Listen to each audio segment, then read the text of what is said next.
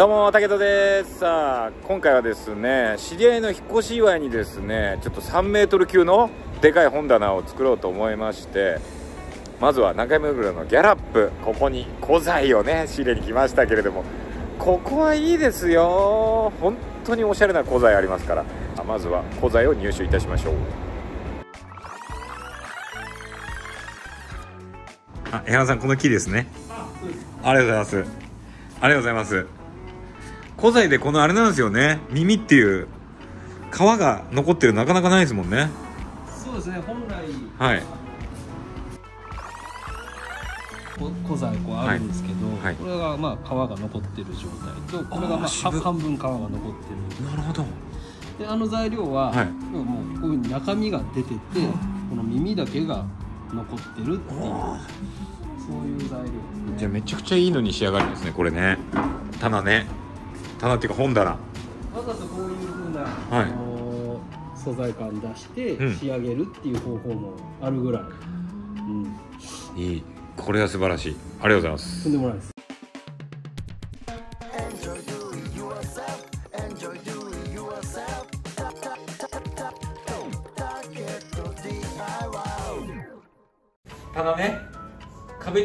作ってほしいですよね。うるせえじゃんねこれ違う違う本当に？お家隣もちょっと11時だから大丈夫です声でかいんですよ本当に。こっからじゃあここにありますね。いや本当にさっきまで幕張の舞台立ってたでし朝朝の寄せ出てないょ普ですよ。通の声じゃないの。なんかめっちゃ声出てるの。本当に？はこれそんな声出てます？いのでかくない？お腹から出てまうん。えこんなもんだと思うけどいやいいんですよそこは。はい。どうしてほしいんですか？あじゃあ今日は、はい。僕引っ越したてで、はい。本棚がないんで、うん。それで相談させてもらったら、じゃあ俺が作るかっていう話にいやもう話が全然違うよ。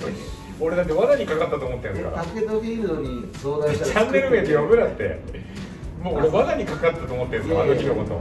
LINE でね。引っ越したんで DIY の相談があるんでちょっと来てもらえますかって言ったら依頼じゃんと思って。相談じゃないじゃん。依頼してんじゃん。あれはまだ相談レベルですよあのあの時は相談のつもりでしょ。いやありがとうございます。朝早く朝早く。からやりましょう。でも本当にこれまずこれをあれしたいんですよこの古代の生木なんで。これをあれしたい。古代。のもう声は出てるけど内容が伴ってないのよさっきから。これはあれしたいですね。これ古代の生木だからこれ触ってみてください。まだちょっとなんていうんですか毛羽立ってるでしあ本当だ本当だ。ょでこれ一回ツルツルにしてワックスかけて。えでワックスかけた方が耐久性上がるから。この木の良さを生かすためにクリアのワックスもいますから。お願いします。まずはサンダーかけていきましょういいね。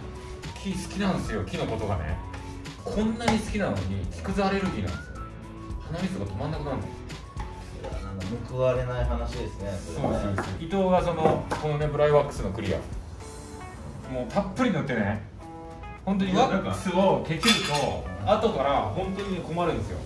だってワックス通ってきたり。ケチる人一番嫌いなんでしょこの世の中そうなんですよ何でしたっけ？ワックスケチる人は。なんか例えよくさっきしたじゃないですかワックスケチる人は。ワックスケチる人はもうダメ。じゃだから違う。ワックスケチる人は何々だみたいな雰囲気で喋るかはいはいらはいは僕も伊藤さんも待ってたんですよ。何を言いたいのかいワックスケチるやつってな、もう本当あれですね。あのケチ。うん、ダメだ。もうダメだろ。いい色出てきた。ほらあいいっすね。ほらいい色出てきたここれよこれが欲しかったのよ。木目がしっかり出てくるんだよ。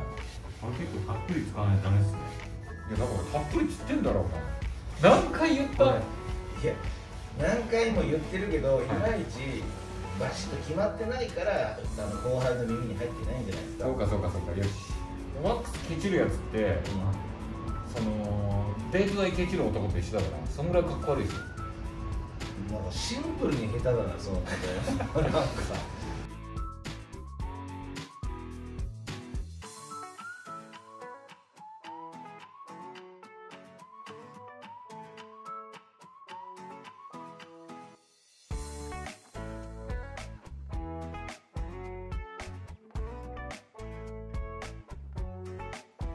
はいということでサンダーとワックス終わったんで早速組んでいきましょうってことなんですけど、はい。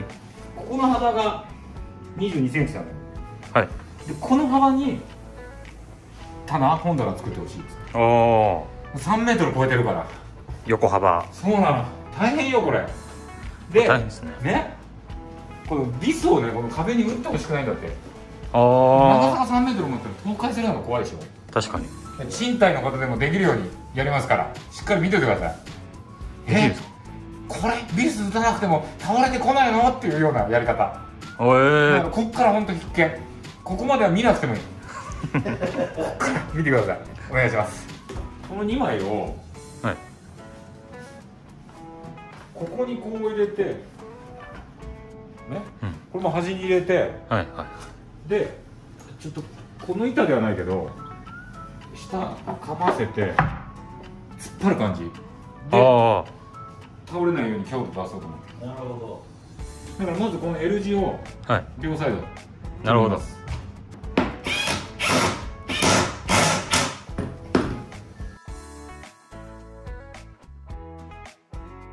入れます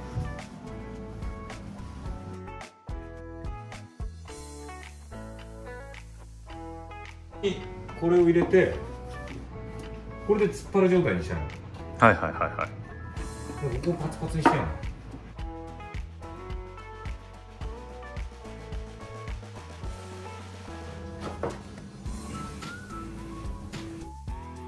ここの面合わせて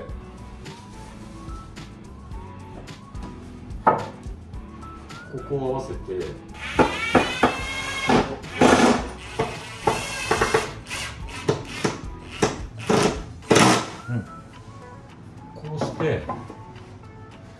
よし。伊藤ちゃん。ちょっと待ってね。はい。で、うん、あいいいい。ぴったりすぎるぐらいぴったり。いいねいい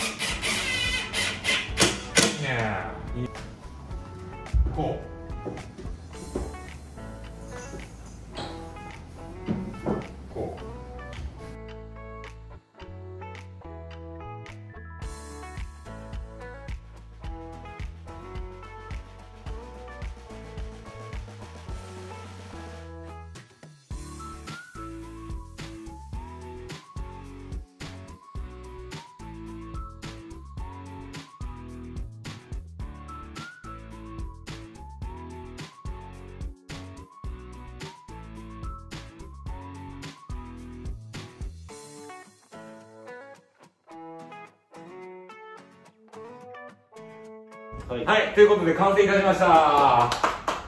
なかなかね、素晴らしい。あ、本当ですか、は気に入ってくれました？いいやまずね、はい。このレッドスペースだったのが、はい。だここのこのぽっこりがな何のためにあるのか分かんないわけですよ。ここに段差あったんですそうね。ここは段差だったんですね。はい。だからあの腰掛けるには低いし。幅もないしね、そう。座るにはね。本当になんか嫌だったんですよずっと物置くだけで、うん。ただそれがすごく解消されてあとやっぱこうきっちり 3m30 をこう測ってねやってもらった。そこがもう僕は感動的ですよこのちゃんと両サイド。ただ皆さん皆さんご覧ください。ここのズレねここのここのズレ、はい。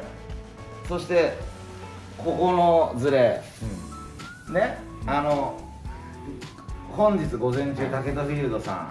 これ仮チャン組ネル名で読むなって言われる。仮組してはい。ちゃんとやってきて完璧だっておっしゃってたんでもう ねこれワックスだけ塗ったらもうあとは楽勝だなぐらいの感じでね。ね。思いのほかちょっともうずれたっていう次元じゃないぐらいの。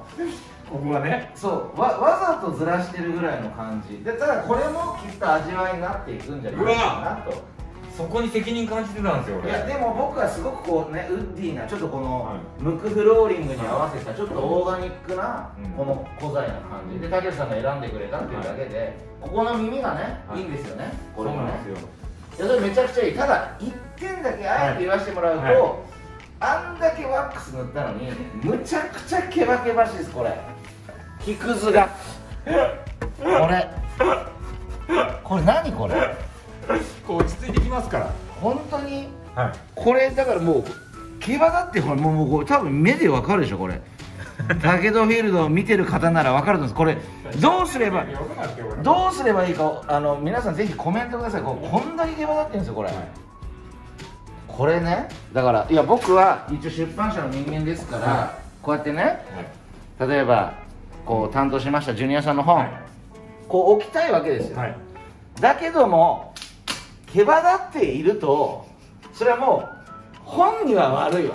そうですね。これ。だから結果この中になんかもう一個本棚を入れなきゃいけない。よ。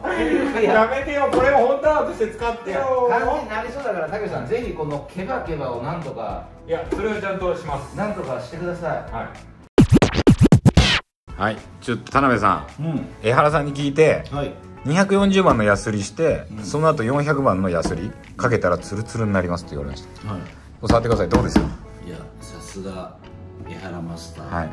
マジでツルツルです。ほら「